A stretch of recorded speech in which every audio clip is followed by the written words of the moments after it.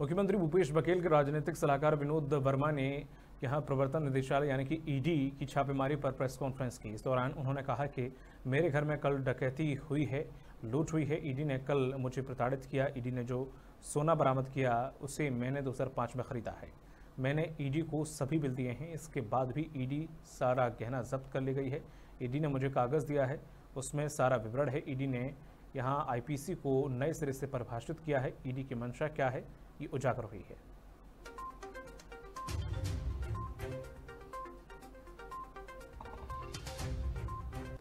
और मेरे घर में कल डकैती हुई है।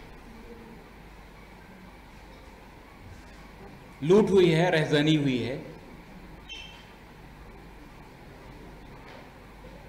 और इसको मैं पुख्ता आधार पे कह रहा हूँ, जो बयान ईडी ने मुझसे लिया है उसमें भी मैंने ये दर्ज करवाया है कि आप मुझे प्रताड़ित कर रहे हैं और जो कुछ भी आप कर रहे हैं वो लूट है और रहजनी है।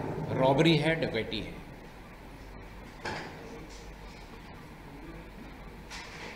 जितना सोना मेरे घर में मिला, वो 2005 से 2005 में मैंने पहली बार सोना खरीदा था। मैं खरीदने लायक तभी हो पाया था। और 2005 से 2023 तक जितना भी सोना खरीदा उसका एक एक का बिल मैंने प्रोड्यूस किया है। एक एक बिल, सिर्फ़ एक गहने को छोड़कर, जो मेरी पत्नी को उसकी शादी में मिला था, उसका उसका बिल मेरे पास नहीं था। उसके अलावा पूरा बिल मैंने प्रोड्यूस किया। उसके अलावा छः अतिरिक्त बिल मैंने दिए।